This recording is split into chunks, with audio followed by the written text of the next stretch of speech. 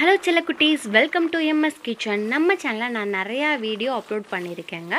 இப்போ தான் நான் ரொம்ப நாளைக்கு அப்புறம் திரும்பவும் வீடியோ அப்லோட் பண்ண போகிறேங்க தொடர்ந்து நம்ம சேனலுக்கு சப்போர்ட் பண்ணுங்கள் நீங்கள் நம்ம எம்எஸ் கிச்சன் சேனலை ஃபஸ்ட் டைம் பார்க்குறதா இருந்தால் சப்ஸ்கிரைப் பண்ணிக்கோங்க.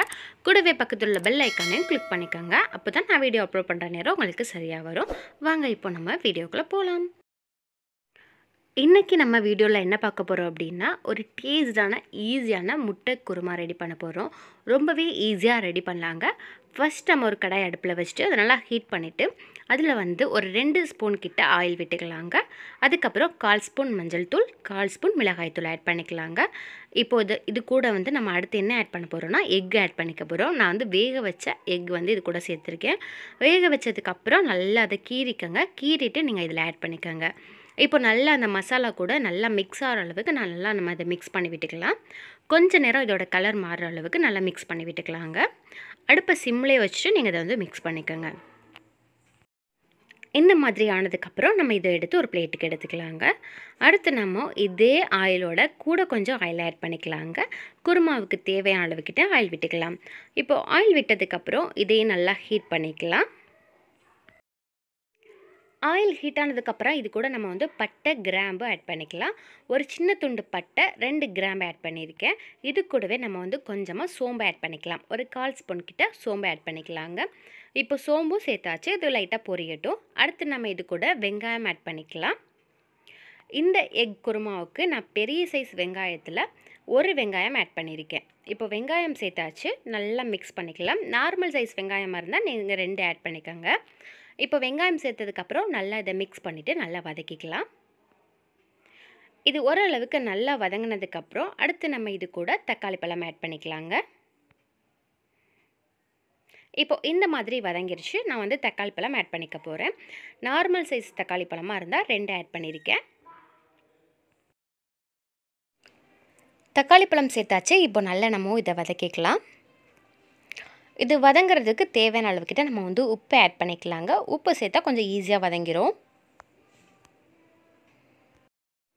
இப்போ இந்த மாதிரி வதங்கினதுக்கப்புறம் இது கூட நம்ம வந்து ஒரு கால் ஸ்பூன் கிட்ட இஞ்சி பூண்டு பேஸ்ட் ஆட் பண்ணிக்கலாம்.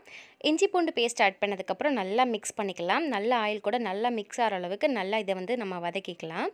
இந்த பச்சை வாசனை போகிற அளவுக்கு வதக்கிக்கலாங்க.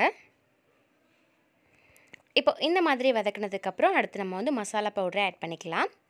ஃபஸ்ட்டு நம்ம இதில் வந்து மஞ்சள் தூள் ஆட் பண்ணிக்கலாங்க. கால் ஸ்பூன் கிட்ட மஞ்சள் தூள் சேர்த்துக்கலாம். காரத்துக்கு தகுந்த மாதிரி நீங்கள் வந்து மிளகாய் தூள் ஆட் பண்ணிக்கோங்க. உங்களுக்கு எவ்வளோ வேணுமோ அதுக்கேற்ற மாதிரி நீங்கள் ஆட் பண்ணிக்கலாம். இப்போ மிளகாய் தூள் சேர்த்தாச்சு. அடுத்து நம்ம குழம்பு பவுடரை ஆட் பண்ணிக்கலாங்க. குழம்பு பவுடர் இல்லை அப்படின்னா நீங்கள் வந்து மல்லித்தூள் கூட ஆட் பண்ணிக்கலாங்க. இந்த மசாலா பவுடர் நாங்கள் எல்லா குழம்புக்குமே ஆட் பண்ணிக்குவோம். இது வந்து மீன் குழம்புலேருந்து மட்டன் குழம்பு வரைக்கும் நாங்கள் இதை வந்து ஆட் பண்ணிக்குவோம். ரொம்பவே டேஸ்ட்டாக இருக்கும் இந்த மசாலா பவுடர் ஆட் பண்ணுறனால இந்த வீடியோ உங்களுக்கு வேணும் அப்படின்னா நீங்கள் வந்து கமெண்ட் பண்ணுங்கள் இந்த பவுட்ரு எப்படி ரெடி பண்ணணும்னு நான் வந்து உங்களுக்கு வீடியோவாக அப்லோட் பண்ணுறேன்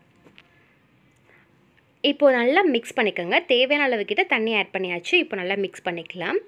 உங்களுக்கு குருமா எவ்வளோ வேணுமோ அதுக்கேற்ற மாதிரி ஆட் பண்ணிக்கோங்க. இப்போ நல்லா மிக்ஸ் பண்ணதுக்கப்புறம் இந்த மாதிரி கொதிக்கும். இந்த டயத்தில் நம்ம எக் எடுத்து வச்சுருக்கோம்ல அதை இப்போ வந்து இது கூட ஆட் பண்ணிக்கலாம். இப்போ எக்கு சேர்த்தாச்சு இப்போ நல்லா அதை மிக்ஸ் பண்ணிவிட்டு நல்லா கொதிக்க விட்டுக்கலாங்க. இப்போ நல்லா நம்ம ஒரு மூடி போட்டு நல்லா கொதிக்க வச்சுட்டோம். இந்த மாதிரி கொதி வந்ததுக்கப்புறம் அடுத்து நம்ம வந்து இதில் ஒரு பேஸ்ட் ஆட் பண்ணிக்கலாங்க. இதில் என்ன ஆட் பண்ணியிருக்கோம் அப்படின்னா தேங்காய் இது கூடவே கொஞ்சமாக பொட்டுக்கலை சேர்த்துருக்கேன். இது மட்டும்தான் ஆட் பண்ணியிருக்கேன். இதை நல்லா மிக்சியில் நல்லா தண்ணி ஊற்றி நல்லா அரைச்சிக்கோங்க. நல்லா பேஸ்ட்டாக அரைச்சதுக்கப்புறம் நீங்கள் இதை வந்து இதில் கூட ஆட் பண்ணிக்கோங்க. இப்போ ஆட் பண்ணியாச்சு. இப்போ அடுப்பை சிம்லேயே வச்சுட்டு கொஞ்சம் நேரம் லைட்டாக நம்ம கொதிக்க விட்டுக்கலாம். அவ்வளோதான் ஃப்ரெண்ட்ஸ் இந்த மாதிரி நல்லா கொதிச்சதுக்கப்புறம் அடுப்பை ஆஃப் பண்ணிக்கோங்க. கூடவே கொஞ்சமாக மல்லித்தலை ஆட் பண்ணிக்கோங்க. இந்த முட்டை குருமாவை நீங்கள் எதுக்கு வேணாலும் வச்சு சாப்பிட்லாம். ரொம்பவே சூப்பராக இருக்கும். சப்பாத்தி தோசை இட்லி. அது மட்டும் இல்லைங்க கீ ரைஸ்க்கு கூட நீங்கள் அதை வந்து வச்சு சாப்பிட்டுக்கலாம். ரொம்பவே டேஸ்டாக ஈஸியான எக் குருமா நம்ம ரெடி பண்ணிட்டோம். இதே மாதிரி நீங்களும் ட்ரை பண்ணி பாருங்கள் இந்த வீடியோ பிடிச்சிருந்துச்சுன்னா லைக் பண்ணுங்கள் கமெண்ட் பண்ணுங்கள் நம்ம சேனலை நீங்கள் ஃபஸ்ட் டைம் பார்க்குறதா இருந்தால் சப்ஸ்கிரைப் பண்ணிக்கோங்க. ஓகே ஃப்ரெண்ட்ஸ் தொடர்ந்து நம்ம சேனலுக்கு சப்போர்ட் பண்ணுங்கள் இதே மாதிரி இன்னொரு ஒரு வீடியோவில் மீண்டும் சந்திக்கலாம்.